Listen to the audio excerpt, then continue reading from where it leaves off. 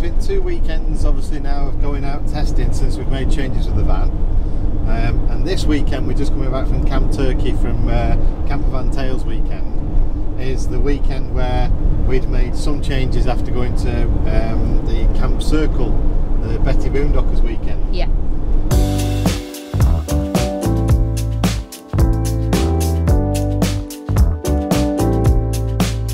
We've gone through everything now. There's still a few things I think I would change, but ultimately, uh, wheels and tyres, brilliant wheels and tyres, um, really kind of uh, stable on the road, very quiet when you're driving down the road and everything like that. They take out all the little lumps and bumps. We were going down some bumpy roads before, and, Yeah. and you, it was just really flattening them all out. Really Really, good. good. for that. Um, yes, they didn't help at all in, in Century Circle. Yeah, in mud that's sort of like absolutely kind of like five, six inches deep. Yeah. Didn't help with that at all. but we didn't get stuck stuck there. We just couldn't go back up a hill, so that's kind of where we were with that one. Yeah, they're brilliant. Um, the blinds, these blinds here are absolutely fantastic. Yes. So much so, I'm thinking that we take this one out, take the curtain out, Yeah. because the thermal properties of these are really good. Uh, they're easy to close and everything at night. And so, we get yeah. the cab space back, so Yeah. it's so nice. Because as soon as we pop the curtain down, we kind of lose the seats for storage. Because you know, just chuck your clothes on when you get ready at night, and and just leaving things messily laying around on. Yeah. But it's much needed because it keeps the rest of the van um, easier to use and doesn't get in the way of stuff. Then, and uh, and it's nice to have that back. Um, but yeah, so they're really good. I Cupboard. find them. Oh, the cupboard. The cupboard's my favourite bit. Got all my stuff in there. It's dead easy to get in and out of. Um, I'm not even using all the little storage bits and bats that I've got in there, and um, we do fetch an awful lot of food with us when we come for the weekend, and um, it's nice to have everything have its own place in there. Um, and we've even got room in the shelves. We've got spare bedding and all sorts of things in there which we never had the room for before. Uh, so no, I love my little cupboard. Yeah. And this weekend, when we went to Camp Circle again, we um, I took a prototype, kind of like a rough version of the duckboard flooring for the loo to raise the floor up so it became more comfortable. Um, so this weekend is obviously the finished version of that. I've stained it, I've sealed it, and everything else. So the loo now, without that stupid shower on your side, is great, now comfortable Oh yeah, yeah. and with the duckboard flooring so much more comfortable on the loo and doing all that and obviously got the extractor fan in there as well so getting rid of all the smells all that's um, really good Just also, keeps yeah. the air fresh in there because it gets a bit stale as well, doesn't it? So it just keeps the, the air circulating nice and fresh. It is, you know, it's good. It's good. um, Taking the table away and, and having it stored up top for me. We didn't actually use it because John's put another leg on it. Uh, yeah, so so, we can. the, the conversion I did last time to put a folding leg on there uh, if you remember I said I'd done it temporary because I was going to make a proper go of it another time so I've done that now I've just not included it in anything yet because we haven't used it No. um, but I've got two folding legs on there now um, that are the right height for everything else so you can actually have it inside or outside as a standalone table um, and it also still works on the rail at the side so Yeah. But we take it out and, and we've got it up in the cab above us because uh, Cooper likes to not have a table over his head, doesn't he? So. Uh, Yeah, and the ability to walk in and having that extra space there, because that's the only space, unfortunately, we've got when we walk in, Yeah. is the cab area and right behind. So to having towel that Cooper down and what have you, at least we've got the extra room for it. It is better, so it's really, really helping now. Having the cab blinds so we can have the extra space here, and having the table out of the way, so the extra space there is really working well. So the raised bed, far more comfortable, having a standard double bed sized area with a great mattress and quilt covers and all that. It's just so much easier and more comfortable. So dead happy we did that one. And Cooper's found out that he can actually jump up there. Yeah. So uh, it's getting down's a different matter. It's funny Yeah. watching him, but no, he can get up there as well, which is good. So that's worked well, and the storage underneath it is great. I just need to be better at um, or finding any way of how to store things more neatly under there, or to get quicker access for putting them away, getting out. So they, because at the moment I'm putting them as boxes, or I'm putting them in a, a backpack and that, and it's just not perfect. So Turn left onto A623. So yeah, a bit of tweaking on how we store things under there, and that'll be sorted. But having all that extra space under there is just brilliant. And we have got them to the point where we've got we, we kind of need a place for everything and everything in its place, which is the old Vanners thing, isn't it? Yeah. Everything has to go somewhere. But because we've recently moved lots of things around, we've still not quite got back to everything having its own little place. Hands and hats I leave all over the show apparently. yeah, so he's going to work on that one Yeah. for next I time. need more a little. Um, well, Matt, the only thing that Mandy's not done yet is made those pockets we spoke about Yeah.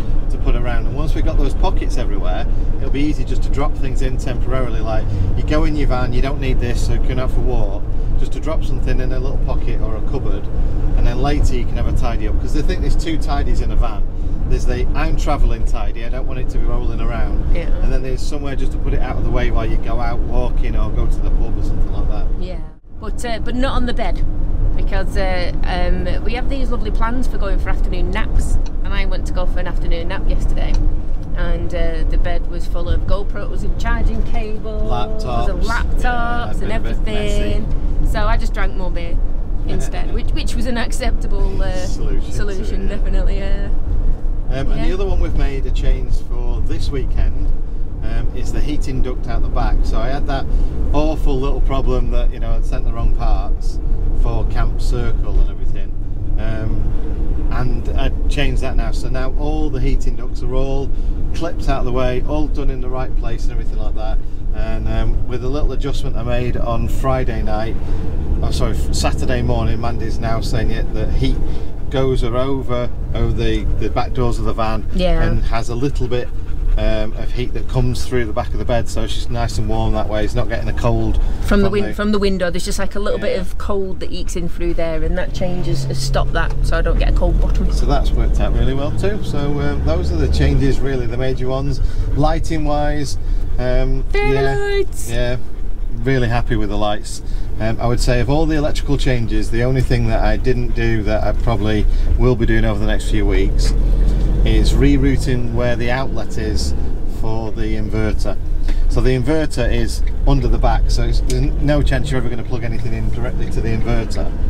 So I'm going to cable up uh, to another outlet that's somewhere far more easily accessible, Yeah, it does need it. and um, and also put some USB sockets there as well.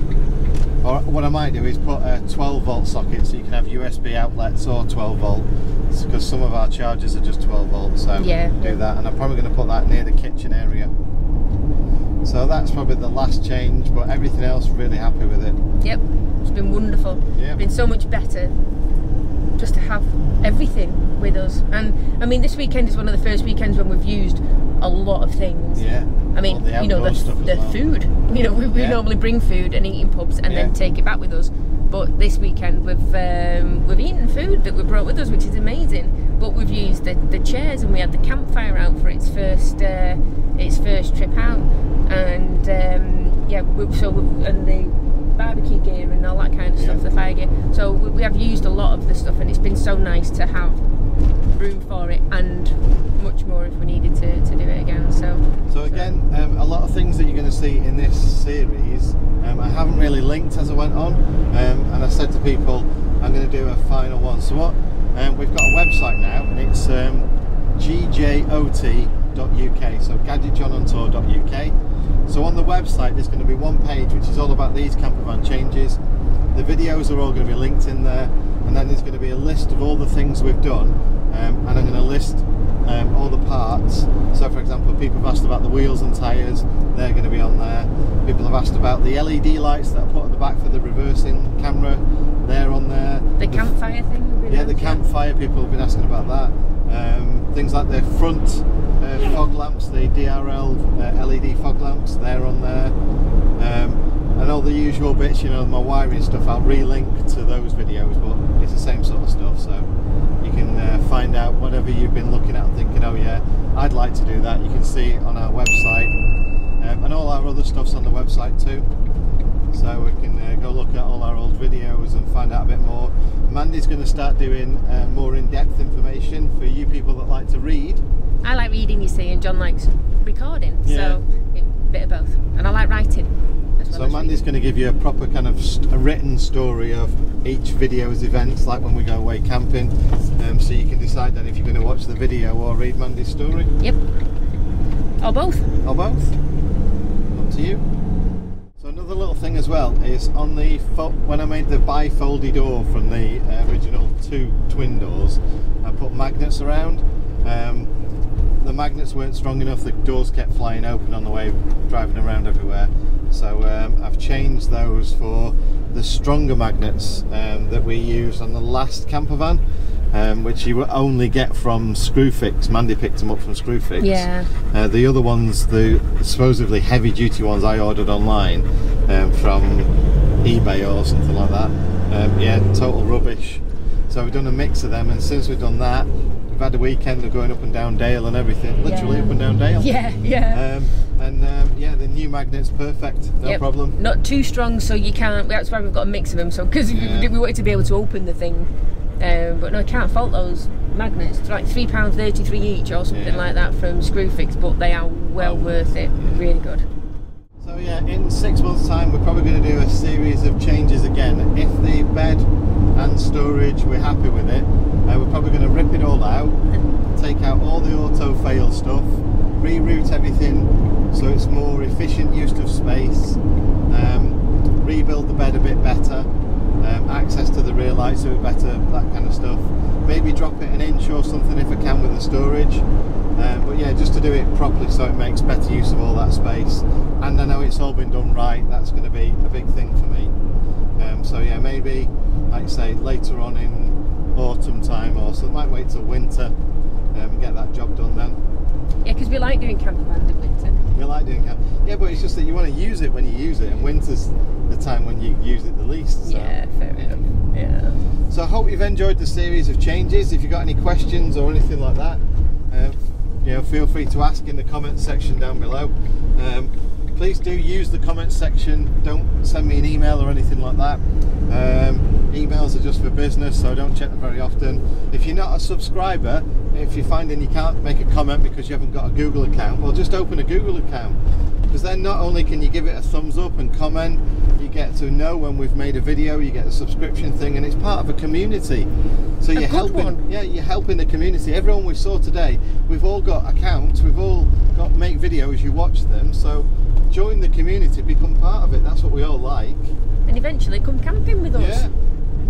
So create yourselves an account, join the community, and um, leave your comments in the description down below. And uh, sorry, leave your comments in the comment section down below, and um, I can uh, give you a proper reply and everything then. So thank you for watching, and um, we'll catch you on the next video. See you soon. Bye.